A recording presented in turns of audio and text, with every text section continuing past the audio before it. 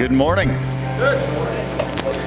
On this final Sunday of Advent, I have a little disclaimer as we open our service. This is probably the most un Christmas message on the Sunday before Christmas that you will ever get. And here's why. Thursday morning, I had, you know, by Thursday morning, you know, I'm, I know where I'm headed. I know where what God wants me to teach, what He wants me to preach. But Thursday morning, I had, I had been studying during the week. My outline was done. I was like getting excited about the message. But Thursday morning, God really impressed upon me that's not the message for this week. You'll get it next week. But as I, as I sat in my office and just prayed and just read through Scripture, God made it very clear that this Sunday is going to be a little bit of a different Sunday as far as a Advent Sunday. And I think there's a reason for that. The other week I was driving, um, I don't remember where I was, but it was evening and, and driving through a small town, and the Christmas lights were just like everywhere, and it was awesome. But as I was driving through that town, the reality kind of hit me. You know, a lot of times in this time of year, in this Christmas season, we see the lights and we see everything and it's all Christmassy, but inside it may not kind of feel that way. And I know for many that this Christmas just seems different. It just seems almost like it's a little bit off. And as I started thinking through this, you know, we may on the outside see everything that's just like reminding us of Christmas, but on the inside, we may really be struggling. And our theme for Advent this year is joy. We may not feel it. We may be sitting there going, We're talking about joy, but it's just like, okay, joy. And so this morning, I have one goal. I want to encourage you. I want to encourage you.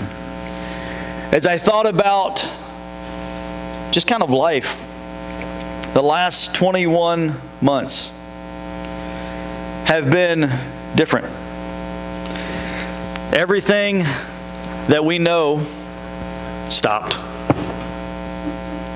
Everything that we planned changed.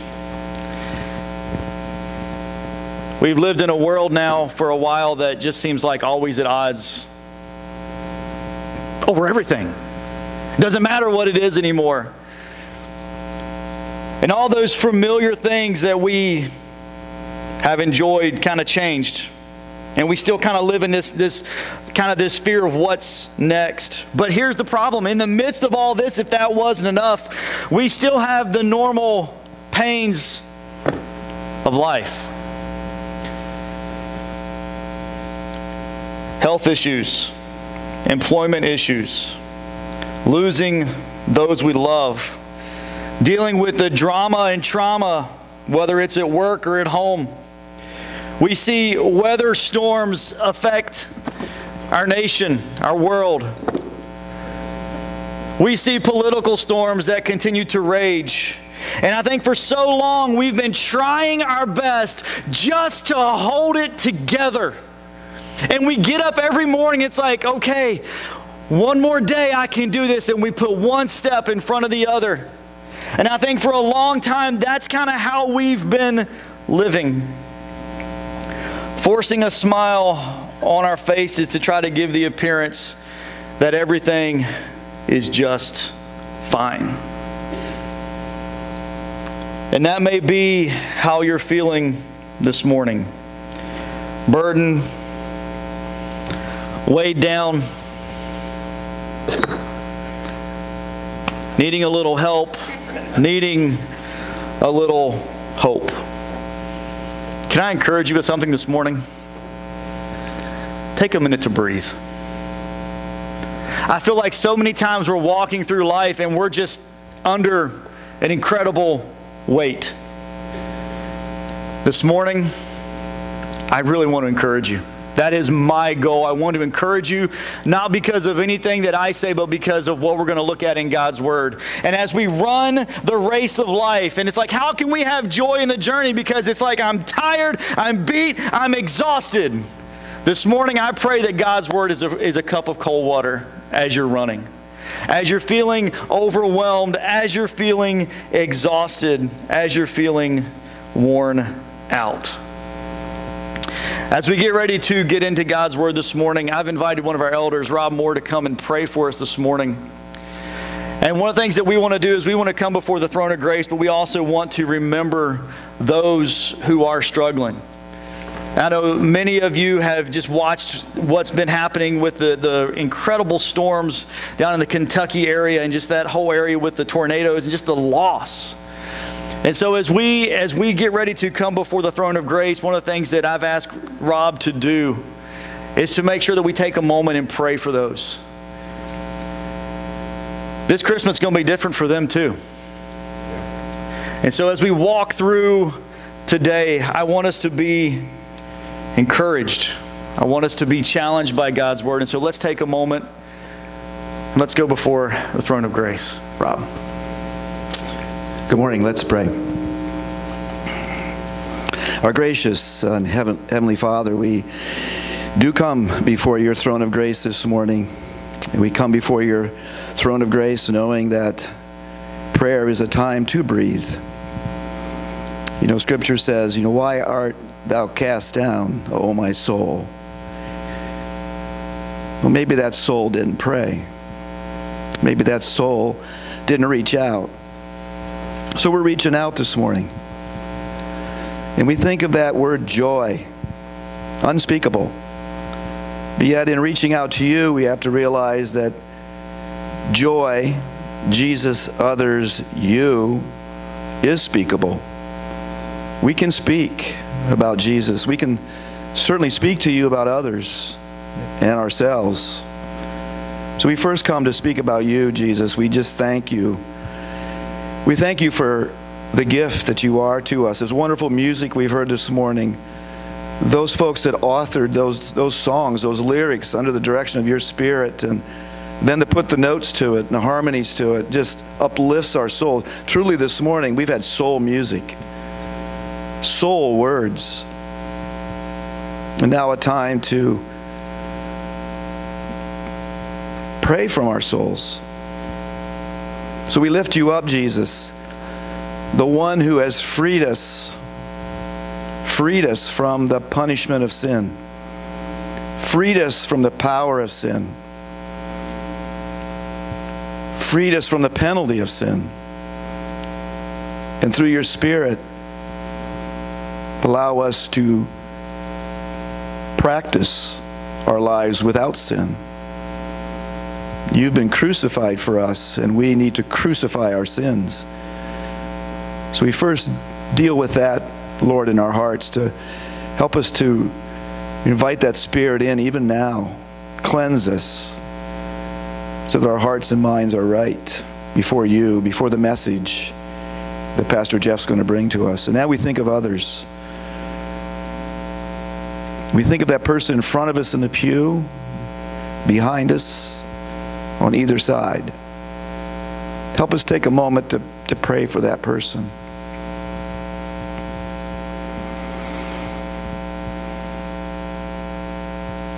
And now we think of our families as we will be gathering this holiday, this Christmas. There's folks that are going to be coming to our gatherings that maybe there's a, a need to reconcile differences. Maybe there's a need to encourage, to lift up. Maybe there's been death due to COVID. There's many in our church that have been affected and impacted by so much. And certainly the bell of COVID has rung a lot in our, our church. Help us to think of those. And yes, Lord, these folks in Kentucky, across the Midwest, that have had their, their lives completely wrecked. No home, no church, no car. All their paperwork is gone. No proof of insurance. All the photo albums are gone. records of finances, gone. It's all gone. The landscape's gone. The town they loved is gone. It's all gone. And yet, what an opportunity for God to show up through people, through the, the work of our convention, sending people in, funds in, resources in, to rebuild, to revive, to restore. And we can do our part here to be prayer warriors every day, appreciating all we have. We're so blessed, all that we have, and they don't have. Is help us to have a tender heart for those around us who've had a tornado hit their lives. We see it literally in the Midwest, but the person next door may have had a tornado hit them. Not a cyclonic event of difference in air pressure and wind of 200, 300 miles an hour, but the tornado of depression, financial ruin, alcohol, drugs. Maybe they have been rejected, they've been hurt, they have no hope. They have no hope. And we know, Lord, hope is hard work. Hope's a hassle sometimes. It's heavy. And yet, we have it. We thank you for that gift we have. Some have more than others, but you have it because we have Jesus. Help us to give that to those folks. Help us to be aware of those around us, even our neighbor. It may be the person sitting next to us this morning. Now, Lord, we pray for ourselves last. And Lord, I'm just going to take a, a, just a few seconds for each person in here to reflect upon themselves and to pray to you about ourselves. We thank you for this time, this time to breathe, this time to come to you, this time to deal with our soul, our innermost being, and what we can do to uplift others around us. I pray for Pastor Jeff. I just thank you for a pastor that can change the schedule of a week because your spirit impacts him. That it's not liturgy, it's not programmed, it's by your leading. I thank you for that. Give him power, give him a presence here, give him peace as he delivers this message. In Christ's name we pray. Amen. Amen. Thank you, Rob. Hebrews chapter 12. We're going to be looking at the first two verses of this chapter this morning. And uh, as we read these two verses, could we just stand together as we read God's word this morning? Hebrews 12, verses 1 and 2. It says, Therefore, since we are surrounded by so great a cloud of witnesses, let us also lay aside every weight and sin which clings so closely and let us run with endurance the race that is set before us. Looking to Jesus, the founder and perfecter of our faith, who for the joy that was set before him endured the cross, despising the shame, and is seated at the right hand of the throne of God. You may be seated. The book of Hebrews was written to a group of Jewish Christians and there's a challenge that is given to them in this book to move and to grow in their spiritual maturity. Even though they are facing persecution at the time. The challenge is not to just maintain where they are, but that they move on in their walk with Christ. And as we get to chapter 12 of the book of Hebrews, there's a theme that kind of comes through. It's a theme of athletics and also a theme of citizenship that kind of come together. And for the original audience hearing and reading this letter, this would have rung really true to them because they would have they would have instantly in their minds remembered the foot races that took place in the arena the training that's involved. They remember seeing a race where someone grew tired and weary and dropped out. But they also remember those who persevered, who fought through the pain, finished the race, and won the prize. They also knew that to be a competitor in the race, one of the key things was that you had to be a citizen. Doing okay, Zeke? All right. Thanks, brother. And as we get into this passage of, of, Romans 12 verses, or Hebrews 12 verses 1 and 2, there's three things we're going to be looking at this morning. And I think it's three things that we need to remember. First thing that we see as we look at verse 1 is this we see the encouragement. It starts out, therefore, since we are surrounded by so great a cloud of witnesses. Therefore, kind of gives us the thing we have, we have to look back. What is Paul kind of, or not Paul, but whoever the author was, some say it was Paul, who is kind of summing up everything to this point? And as we look back in chapter 11, the chapter before, we see a chapter that we it is referred to as the Hall of Faith, a chapter full of men and women who we would say that they are heroes of the faith. We see people like Abraham. God says, "Go. I'll show you where to stop." By faith, he takes off. Going to a land that he doesn't know. God says, "I'm going to make you a great nation." He's like, we have no children.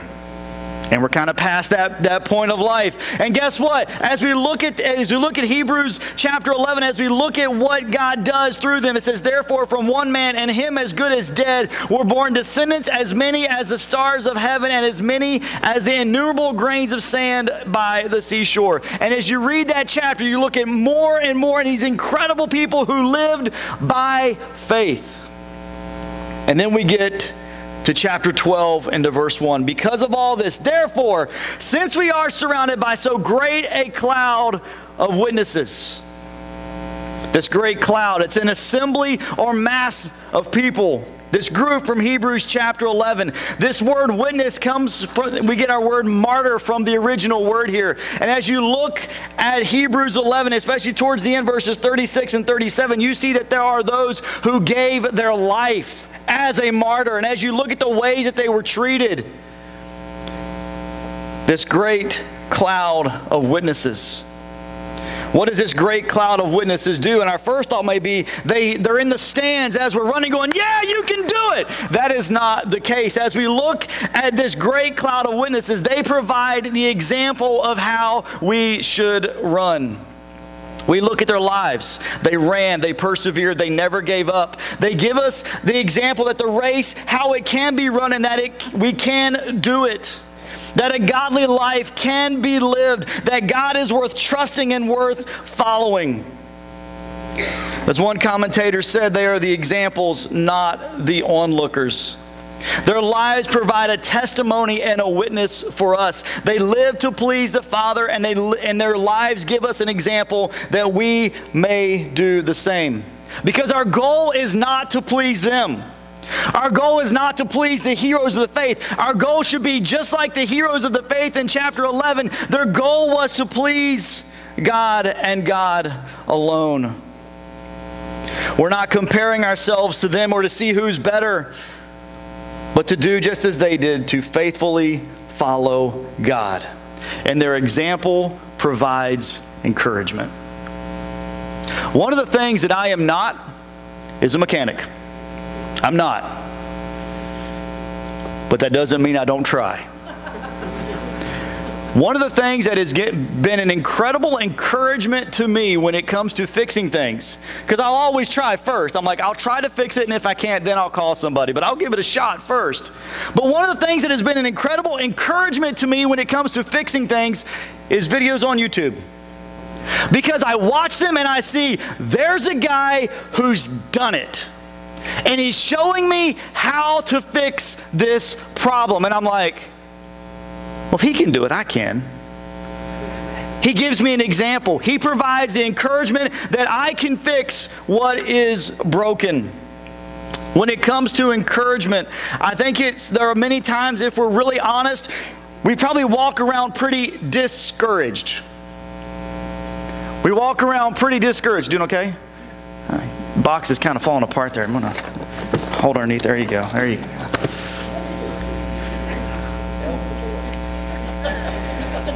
A lot of times I think we, uh, we're a lot like Zeke. We're carrying around a lot. and we're feeling a little overwhelmed. It's getting a little heavy? A little. A little bit. It's getting a little heavy. And a lot of times, what's our response when the journey of life seems long, when the journey of life seems to be a struggle?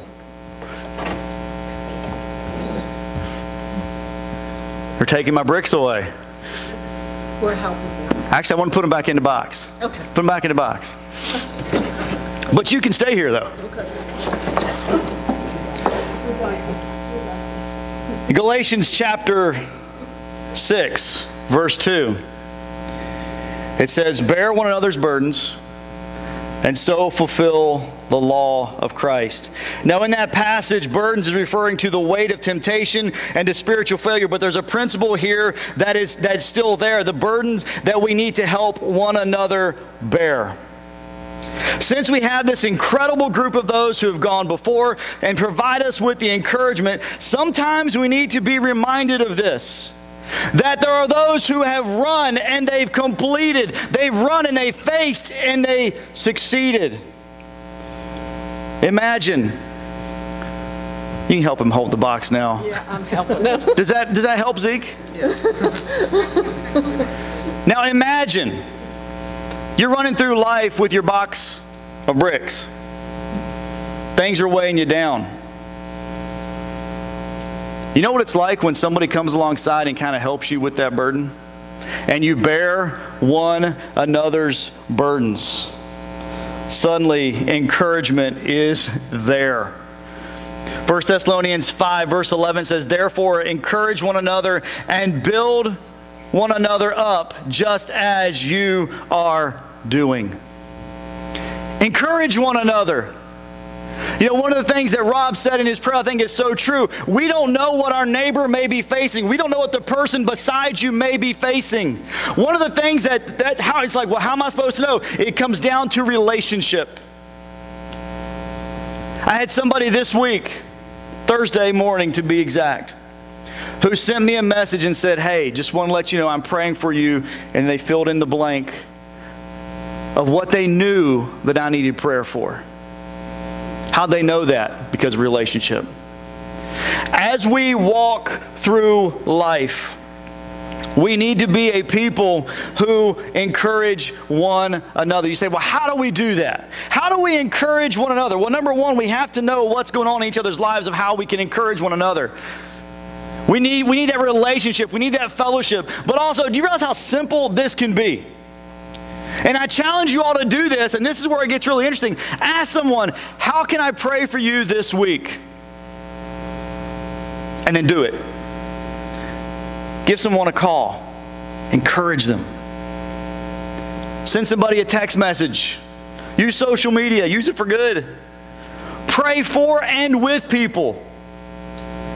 Prayer is an awesome thing. It's kind of like when Zeke is struggling with his box of bricks. When suddenly someone comes alongside, there's an encouragement. Suddenly it's like, I can breathe. I can I know that I'm not in this alone. I think there's a lot of people who are walking through life and they're like, I'm all alone. I'm carrying this burden and I just don't know what to do. And I just can barely put one foot in front of the other. We need to be a people. We need to be, as followers of Jesus, we encourage one another. May it be said of us, just as it was said in 1 Thessalonians, that we encourage and build each other up just as we are doing.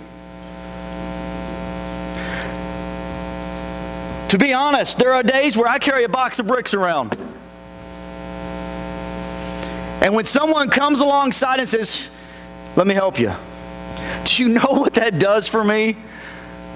The encouragement, even a message says, Hey, I'm praying for you. It just is like, I can breathe. I, can, I feel encouraged. I feel excited to continue to do what God has called me to do. Who is it that you can encourage? And you may say, I'm in need of some encouragement. I've kind of forgotten about those who've completed the race, who have run, who set an incredible example, and I need to be encouraged. We're going to have an opportunity at the end of our message today where if you're in need of encouragement, we're going to minister to you and encourage you. Because we're not going to go in with the mindset of life is perfect, there are no issues, there are no problems, and all is peachy. It's not the case. And so we need to be encouraging, we need to be ministering, and we need to be praying for one another. Thank you. Zeke said his workout for the day. You guys can have a seat. Thank you. Appreciate that. But not only do we have the encouragement from this passage, but we also have, we see the endurance as we look at the second part of verse 1. It says, Let us also lay aside every weight and sin which clings so closely, and let us run with endurance the race that is set before us. Think of a runner. When it comes to Olympic time, we, we love the Olympics as a family. We love watching it. All right? Now, you've never seen like a, a race where you see everybody lined up and you see a guy come out, he's wearing a parka and snow pants. You'd be like, okay, maybe he's from somewhere cold, but he's really not ready to race. Why would he not do that? Because, like, that's going to slow him down. I've seen runners over the years and they will do incredible, crazy things to give them the slightest bit of advantage. Why? Because they want to go faster and they want to remove anything possible that will slow them down. Endurance. It's a determination to keep, to keep going. The opposite is wanting to or actually quitting. It's being full of fear, laziness, apathy, or cowardice. It's lacking that endurance. And so, one of the things that we see here is that we need to remove what slows us down. It says to lay aside every weight.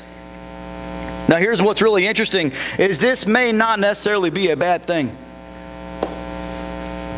A coat in winter is great, but not when you want to win the race. What is it that is distracting or slowing us down? And the text doesn't give us any specifics as to what exactly is being talked about here. One of the things that some commentators believe what could be happening is, is that these Jewish believers are kind of slipping back into the legalism of the Jewish belief system. And it's weighing them down, and they're forgetting the fact that the law has been fulfilled in Christ. What are the weights that are slowing us down? Several years ago, my family had this incredible, really fun adventure. Most things with my family turn out to be an adventure. But one of the things that we were doing is we were going to Europe to visit my wife's parents. But then in the process, we were going to be like in three different countries at three different times. And I was coming back to the States to speak at a camp on the East Coast. My wife was going down to Italy. My kids were staying in Austria. It was just going to be really fun. We're like, this is crazy. This is our world. Well, one of the things that I had is, is as an illustration, because I carry my props with me everywhere I go, was I had these ankle weights that were going to be an object lesson for the very first first message that I was speaking at of in this camp. And so one of the things that I wanted to make sure was that I did not lose them because I'm like, if I'm traveling and I lose my weights, then I'm like, okay, how am I going to get them? Because I knew this camp was in the absolute middle of nowhere. So one of the things that I did in my in my smart thinking was, okay, I'm not going to put them in my suitcase. I'm going to stick them in my carry-on. And it also kept the weight of my suitcase down. Great idea, right? Here's the problem. Security in Paris doesn't think that that's a good idea. My weights literally slowed me down. We were running late for our next flight anyway, and they're like, Sir, we need to check your bag. My wife is like, I'm going to stop the plane, catch up when you can. But the weights that I had thought were a great thing, they were actually, they were a good thing, but they were slowing down my progress of being able to get on the plane. What are the weights the things in your life that are slowing you down, that are keeping you from running the race as God wants you to run. The things that are distracting. But not only that, it says to lay aside every weight and the sin which clings so closely. While all sin is going to slow us down, the word that is used here is in the singular sense. It's very interesting. It doesn't say the sins, it says the sin. And as we look at this and we look at the context and the setting of what's going on, it's likely here that the sin that's being referred to is the sin of unbelief. It's doubt. Doubt and living in faith do not coexist together. If you're living in doubt, you're not living in faith. If you're living by faith, you're not living in doubt. What does sin do? It wraps around our feet and keeps us from being able to run. It's like having your feet tied up and still trying to run. And you're like, why can't I run? Because your feet are tangled up with sin. So not only as we as we look at the endurance, not only do we, need, do we need to put aside the things that are slowing us down, but what is the sin that is wrapped around our feet that is slowing us down, that is keeping us from running the race? We're told that we're to run the race with endurance. And the thought of that, you might be like, oh, but Jeff, I'm tired. I'm tired. I'm exhausted. I'm beat. What's slowing us down? Are we distracted by maybe even good things? Are we having our feet tied up with sin? Is that slowing us down? We need to run with faith, not run in doubt. How many times, and this is just being real with you, where we're, we're walking through life and we're like, I wonder if God is going to do this. Is He going to really take care of me? Is He really going to walk me through each step of the way? That's living with doubt. That's not living in faith. When you read Hebrews 11, and I encourage you to do that, you want to talk about people who lived by faith. What if this morning I said, okay, you're going to move somewhere, but I'm not going to tell you where? Go. It's like, is this a reality show or something new? It's like, that's what Abraham did by faith. He started out on a journey not knowing where he's going to end up. God says you're going to be a great nation with no children. This is great. How's God going to do this? He lived by faith. And as we look through the, through the chapter of Hebrews 11, you see these people who walked by faith. They didn't walk in doubt, they walked by faith. And may that be us. Now, how are we to run? We've seen the example, we've seen the, the, the encouragement from, from those who have run before. We see that we need to run with endurance. And as we get to verse 2, we see that the ultimate example that we need to follow Look at verse 2. Looking to Jesus, the, found, the, the founder and perfecter of our faith, who for the joy that was set before him endured the cross, despising the shame, and is seated at the right hand of, of the throne of God. Here's what's really interesting. In salvation, we look to Jesus. We realize that He is the one that we must look to for salvation. As you think back to the, the book of Numbers, the Old Testament's incredible. And as you notice, one in Numbers, the, the Israelites at one point, they started to kind of murmur and bicker about what God was doing. And so God sent snakes which would have been the death of me anyway, just seeing one, but snakes that would bite them. And it says that many of the Israelites died. But then they realized that they needed to repent and the people came to Moses and they said, We have sinned and we have spoken against the Lord and against you. Pray to the Lord that he takes away the serpents from us. Now, this is where it gets interesting. So Moses prayed for the people, and the Lord said to Moses, Make a fiery serpent and set it on a pole, and that everyone who is bitten, when he sees it, shall live.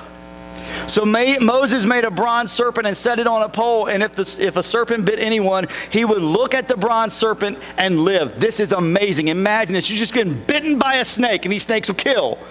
But you see that Moses has set up a bronze serpent and even though you're bitten and you're thinking, oh no, this is surely going to be, and you look at the, at the serpent that's on that pole and you live. What's really interesting is as Jesus is talking to Nicodemus in John chapter 3, he uses this as an incredible illustration. He says, As Moses lifted up the serpent in the wilderness, so must the Son of Man be lifted up, that whoever believes in him may have eternal life. Jesus says, This is kind of an example. And we understand this that Jesus was lifted up and we look to him for salvation because he he is the only one who can save. In our moment of greatest need, we look to Jesus.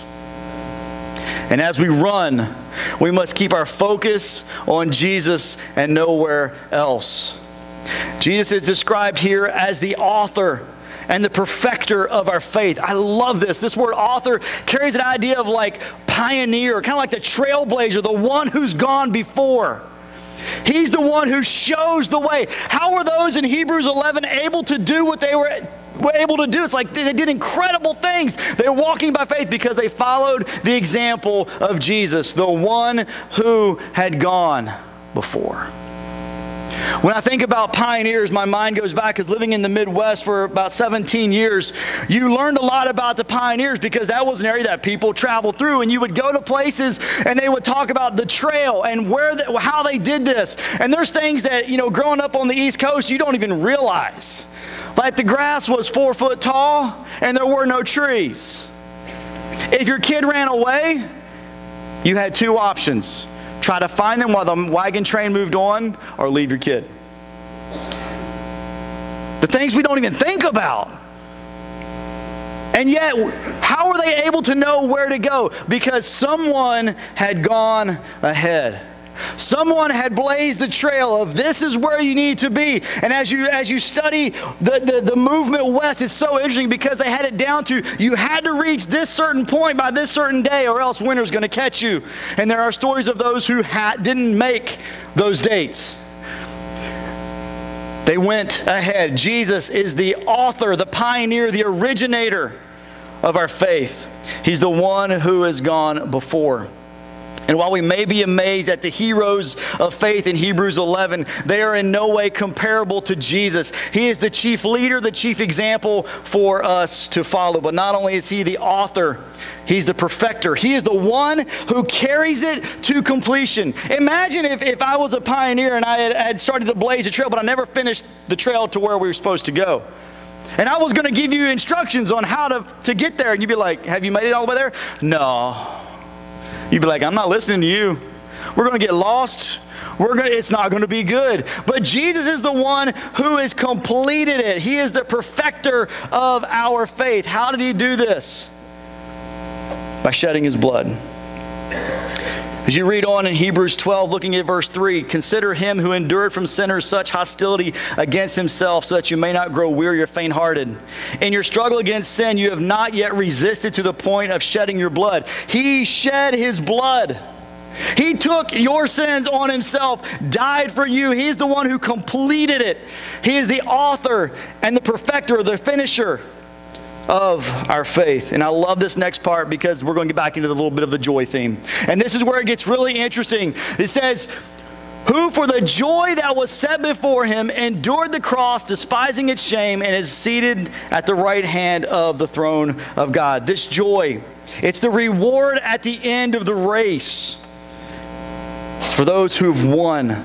What was Jesus' motivation? It was the joy that was set before him. You may say, well, what is this joy? If you read back in John 17, verse 4, as, as Jesus is talking to the Father, listen to what he says. He says, I glorified you on earth, having accomplished the work that you gave me to do. He did what the Father asked him to do. Verse 5 shows us his reward to be glorified in the Father's presence. This joy that was set before him, this joy that said, I'm going to glorify, I'm going to bring glory to the Father. What did that joy lead him to do? He came to earth as a man, left the splendors of heaven, was born to a poor couple, born in a place where animals would shelter for the night visited and worshiped by lowly shepherds, to live 30 years on earth, to begin a ministry with a bunch of ragtag group of guys who would desert him in his final moment of need. One would betray him and one would disown him. Who, for the joy that was set before him, endured the cross, despising the shame. He endured the cross, the pain, the agony of having a crown of thorns driven into his head, his flesh ripped to shreds, and then, after, if that was enough, having his hands and feet pierced and driven to a cross. Despising the shame. Crucifixion was a humiliating way to die. Not only are you in incredible pain and agony, but in crucifixion, you're hanging naked on a cross a shameful way to die. For the joy set before him, you're like, where's the joy? To do what the Father asked him to do. He says, I want to bring glory to the Father through my obedience. There was a joy of obedience, the joy of doing what the Father had asked him to do. What about us today? What's the joy that is set before us? And then maybe our first thought may be to, to be saying, well, that must be heaven. That's the joy set before us, arriving in the splendors of heaven. But here's the thing even those who have placed their faith in Christ and choose not to run the race that God has set before them and to not really to run with endurance, not to follow the example, not to be encouraged by those who have gone, by, gone ahead, they still receive heaven.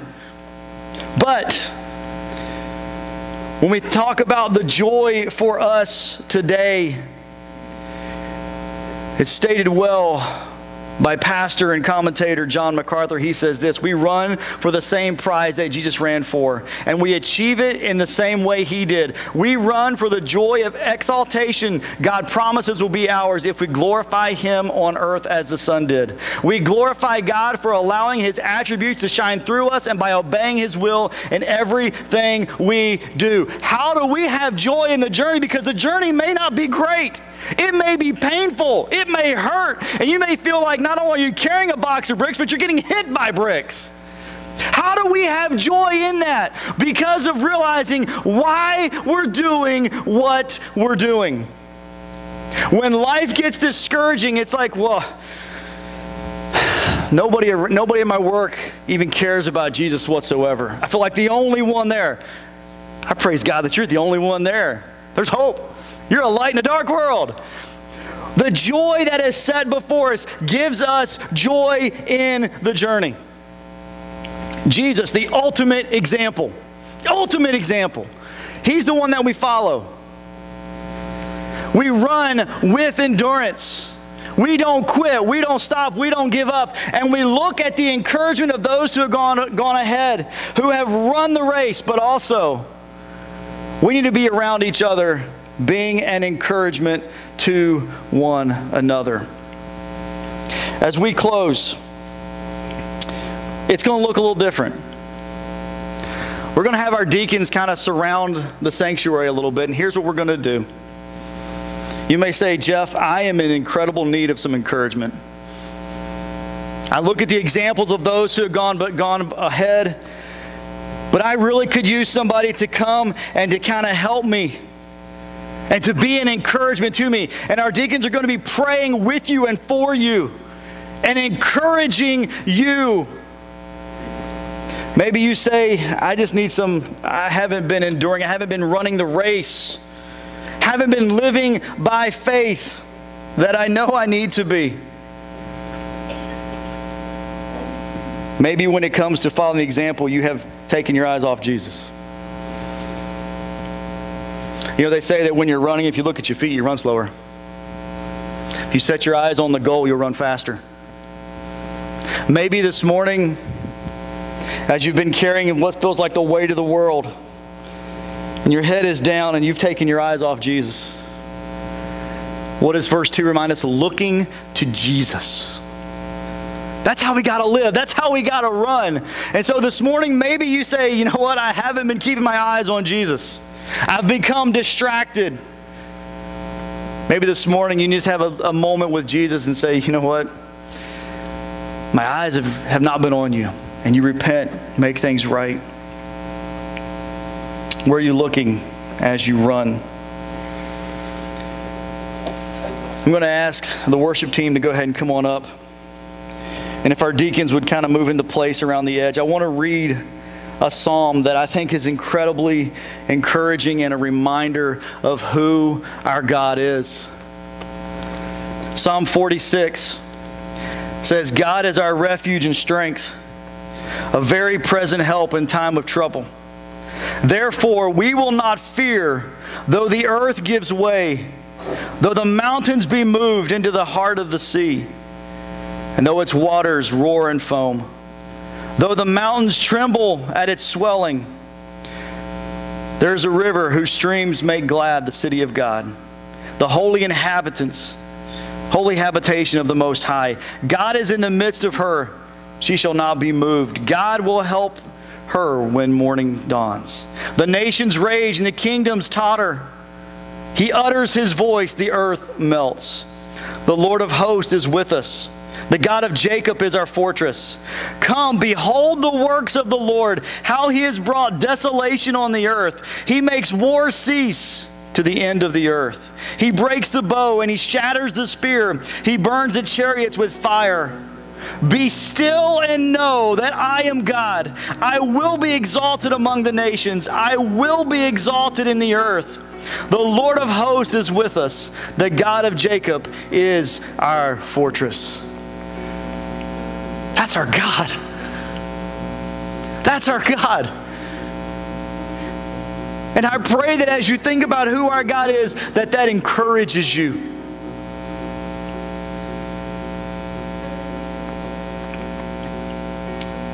As we sing, I want to, I want to encourage you with something. So many times I think in church settings, we're like, well, if I move, what's everybody going to think? I'm your pastor and I need prayer. I'm thankful for guys around me who pray for me. If you need someone to encourage you to pray with you, maybe you say, I have gotten so off course and I need someone to, to guide me. That's what these guys are standing around the sanctuary for. We desire to help you. Let's not let shame keep us in our seats. If God is challenging you and you say, I could use some encouragement, I need a prayer to endure, I need to, to follow the example, and I need someone to, to pray for me and to encourage me, to help me, take advantage of that. Take advantage of that. Life gets heavy. Where do we go? Do we take the moment to be still and know that He is God?